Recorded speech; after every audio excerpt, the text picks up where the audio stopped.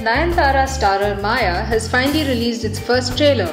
The movie is a supernatural drama which is currently the most favorite genre of South Indian filmmakers. Lately, almost all the big stars have been doing movies that have a ghost angle. Nayanthara is now one of the biggest female stars and she is carrying this movie entirely on her shoulders. The trailer is impressive and unpretentious. Unlike with movies where the scary scenes actually end up making you laugh, you will feel a chill running down your spine when you watch the trailer of Maya. It is seriously scary. Nayanthara plays a single mother in this movie, and Aari is also playing a very important role in the film. Maya has been directed by Ashwin Saravanan. Nayanthara is having the best year of her career in 2015. If this movie becomes a hit, then more producers will have the courage to make female oriented movies.